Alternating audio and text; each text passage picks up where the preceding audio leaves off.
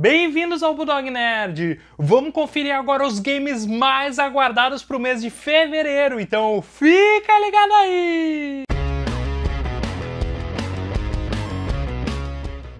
Bom, galera, e antes de qualquer coisa, já se inscreve aqui no canal, clica no sininho para não perder nenhum conteúdo do Bulldog Nerd.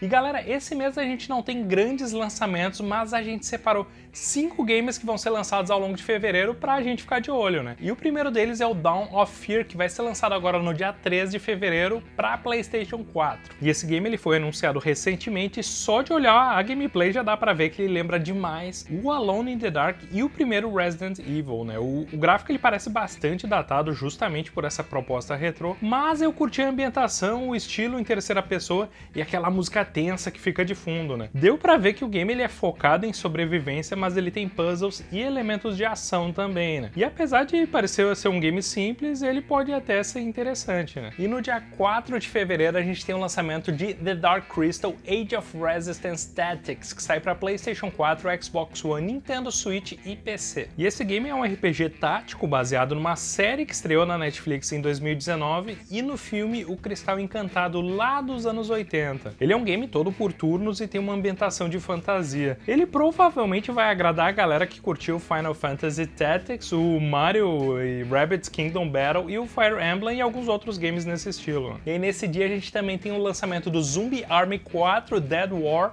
sai para PlayStation 4, Xbox One e PC. E esse é um game desenvolvido pela Rebellion, que é o estúdio responsável pela franquia Sniper Elite e pelo Strange Brigade, que tem gameplay aqui no canal. E dá para dizer que o game é meio que uma mistura dessas duas franquias, né? Uma espécie de Sniper Elite com zumbis. E a gameplay que a gente viu até agora pareceu bem interessante, né? A gente tem uma variedade de armas, habilidades e perks para destruir aquelas hordas de zumbis. Né? Aí no dia 14 de fevereiro tem o lançamento do game Dreams para PlayStation 4. E esse é um game da Media Molecule, que é o estúdio criador da franquia Little Big Planet, né? Inclusive dá pra ver isso pela identidade visual do jogo, que lembra em alguns momentos a do Little Big Planet, né? E a ideia aqui é a gente criar games dentro do Dreams. Dá pra fazer jogos de tiro, de plataforma, puzzles. Então, de acordo com os desenvolvedores, o limite mesmo é a imaginação do jogador. Vai ser um game que provavelmente vai agradar tanto a galera que curte criar fases e games malucos, mas também aqueles jogadores que gostam de experimentar jogos diferentes, né? É um jogo jogo que parece ter potencial. Aí no dia 28 de fevereiro a gente tem o lançamento de